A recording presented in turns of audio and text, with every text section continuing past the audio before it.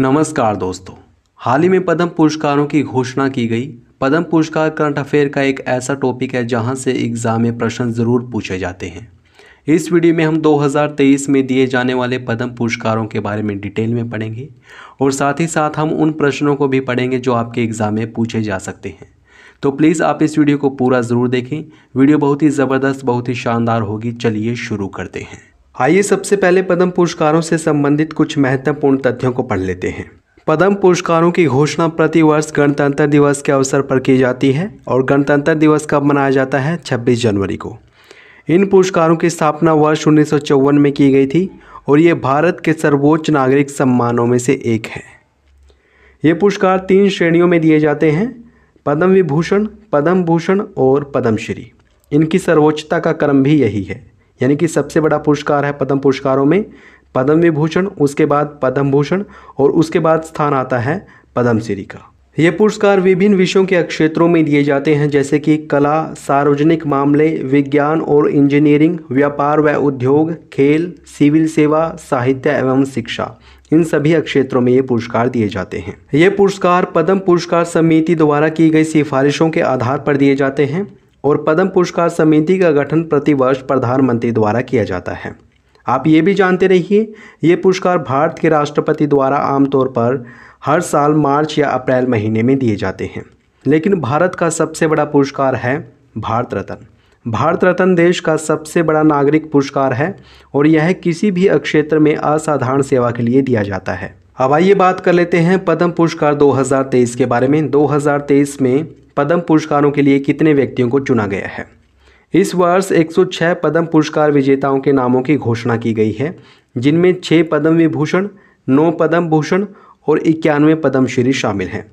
पद्म पुरस्कार पाने वालों की सूची में 19 महिलाएँ भी शामिल हैं, जिनमें लेखिका सुधा मूर्ति, पार्श्व गायिका सुमन कल्याणपुर और अभिनेत्री रवीना टंडन का नाम भी शामिल है। सुधा मूर्ति और सुमन कल्याणपुरा को पद्म भूषण पुरस्कार से सम्मानित किया जाएगा, जबकि रवीना टंडन को पद्मश्री पुरस्कार दिया जाएगा। अब आइए जान लेते हैं पद्म विभूषण से सम्मानित व्यक्तियों के बारे में। वर्ष 2023 के लिए कुल छः व्यक्तियों को पद्म विभूषण पुरस्कार से सम्मानित किया जाएगा, जिनमें शामिल हैं श्री बालकृष्ण दोषी। इनको वास्तुकला के क्षेत्र में ये पुरस्कार दिया जाएगा, गुजरात के रहने वाले हैं और इनको ये पुरस्कार मरणोपरांत दिया जाएगा। श्री मुलायम सिंह यादव, जिनका हाल ही में निधन हुआ था। इनको सार्वजनिक मामलों के क्षेत्र में ये पुरस्कार दिया जाएगा। उत्तर प्रदेश के रहने वाले हैं ये। इनको भी मरणोपरांत ये पुरस्कार दिया जाएगा। श्री जाकिर हुसैन, कला के क्षेत्र में इनको ये पुरस्कार दिया जाएगा। बहुत ही प्रसिद्ध तबला वादक हैं ये। महाराष्ट्र से इनका संबंध है। श्री श्रीनिवास वर्धन, इनको विज्ञान और इंजीनियरिंग के क्षेत्र में ये पुरस्कार दिया जाएगा। यूएसए से इनका संबंध है। इसके अलावा श्री एस एम कृष्णा को ये पुरस्कार दिया जाएगा सार्वजनिक और मामलों के क्षेत्र में। कर्नाटक से इनका संबंध है और छठे हैं श्री दिलीप महाल नाबिस। इनको दवा के क्षेत्र में ये पुरस्कार दिया जाएगा। पश्चिम बंगाल के रहने वाले हैं और इनको भी ये पुरस्कार मरणोपरांत दिया जाएगा। दोस्तों, आप इन सभी के नाम ज़रूर याद रखें। इनका संबंध किस राज्य से है और किस क्षेत्र में इनको ये पुरस्कार दिया जा रहा है, ये सभी डिटेल आपको पता होनी चाहिए। यहाँ से आपके एग्ज़ाम में डेफिनेटली एक न एक प्रश्न पूछा जाएगा। आइए बढ़ते हैं पद्म भूषण पुरस्कारों की ओर। इस वर्ष कुल नौ व्यक्तियों को पद्म भूषण पुरस्कारों से सम्मानित किया जाएगा, जिनमें शामिल हैं श्री कमलेश डी पटेल। इनको अध्यात्मवाद के क्षेत्र में ये पुरस्कार दिया जाएगा। तेलंगाना से इनका संबंध है। सुश्री सुधा मूर्ति। इनको सामाजिक कार्य के लिए पुरस्कार दिया जाएगा। कर्नाटक की ये रहने वाली हैं। श्री कपिल कपूर, इनको साहित्य और शिक्षा के क्षेत्र में ये पुरस्कार दिया जाएगा। दिल्ली के ये रहने वाले हैं। इसके अलावा सुश्री सुमन कल्याणपुर, कला के क्षेत्र में महाराष्ट्र से इनका संबंध है। स्वामी जिन्नानाथ जियर इनको अध्यात्मवाद के क्षेत्र में ये पुरस्कार दिया जाएगा और तेलंगाना से इनका संबंध है। सुश्री वाणी जयराम इनको कला के क्षेत्र में ये पुरस्कार दिया जाएगा और इनका संबंध तमिलनाडु से है। सातवें हैं श्री दीपक धर। इनको विज्ञान और इंजीनियरिंग के क्षेत्र में पुरस्कार दिया जाएगा। इनका संबंध महाराष्ट्र से है। इसके अलावा दो व्यक्ति और हैं जिनको पद्म भूषण पुरस्कार दिया जाएगा। श्री कुमार मंगलम बिरला। इनको व्यापार और उद्योग के क्षेत्र में पुरस्कार दिया जाएगा और इनका संबंध महाराष्ट्र से है। नौवें हैं श्री एल एस भरैया। इनको साहित्य और शिक्षा के क्षेत्र में पुरस्कार दिया जाएगा और इनका संबंध कर्नाटक से है। आप इन सभी व्यक्तियों के नाम भी ज़रूर याद रखें, यहाँ से भी एग्ज़ाम में प्रश्न बन सकते हैं। अब आइए देख लेते हैं पद्मश्री पुरस्कार से सम्मानित व्यक्तियों को। पद्मश्री से कुल इक्यानवे व्यक्तियों को सम्मानित किया गया है, लेकिन आपको इन सभी के नाम याद नहीं रखने हैं, बट जिन भी व्यक्तियों का संबंध आपके राज्य से है, आपको उनके बारे में पूरी डिटेल का पता होना चाहिए, क्योंकि आपके राज्य से संबंधित जो भी एग्ज़ाम है, वहाँ पर इनसे संबंधित प्रश्न पूछे जा सकते हैं। तो आपको अपने अपने राज्यों के जो भी व्यक्ति हैं, जिनको पद्म पुरस्कारों से सम्मानित किया गया है, उनके नाम ज़रूर पता होने चाहिए। लेकिन जो इम्पोर्टेंट है, आइए उनको भी जान लेते हैं यहाँ पर। श्री नरेंद्र चंद्र देव वर्मा, इनको सार्वजनिक मामलों में ये पुरस्कार दिया जाएगा। त्रिपुरा से इनका संबंध है और इनको मरणोपरांत ये पुरस्कार दिया जाएगा। श्री राकेश राधे श्याम झुंझलवाला, जो कि बहुत ही बड़े व्यापारी थे, हाल ही में इनका भी निधन हो गया है। इनको भी पद्मश्री पुरस्कार से सम्मानित किया जाएगा व्यापार और उद्योग के क्षेत्र में और इनका संबंध महाराष्ट्र में है। इनको भी मरणोपरांत ये पुरस्कार दिया जाएगा।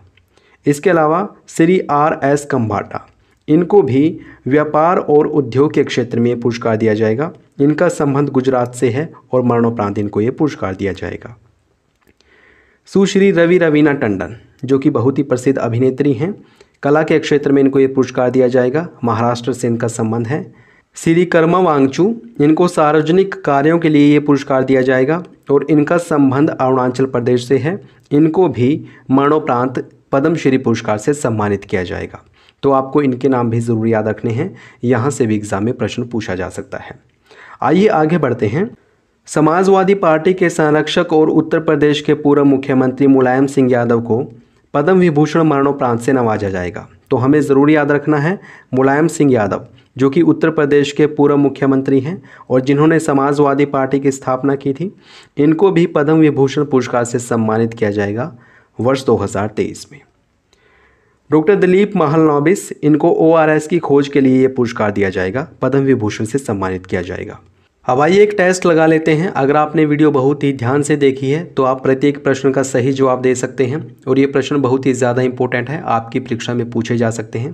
तो प्लीज़ आप इसका सही जवाब देने की कोशिश करना। पहला प्रश्न पूछा गया है, पद्म पुरस्कारों की शुरुआत किस वर्ष की गई थी? इसका सही जवाब होगा ऑप्शन बी वर्ष उन्नीस सौ चौवन में। याद रखें, पद्म पुरस्कारों की शुरुआत कब की गई थी? वर्ष उन्नीस सौ चौवन में की गई थी और ये तीन श्रेणियों में दिए जाते हैं। आगे बढ़ते हैं। दूसरा प्रश्न है, भारत का सबसे बड़ा नागरिक पुरस्कार कौन सा है? इसका सही जवाब होगा ऑप्शन ए, भारत रत्न।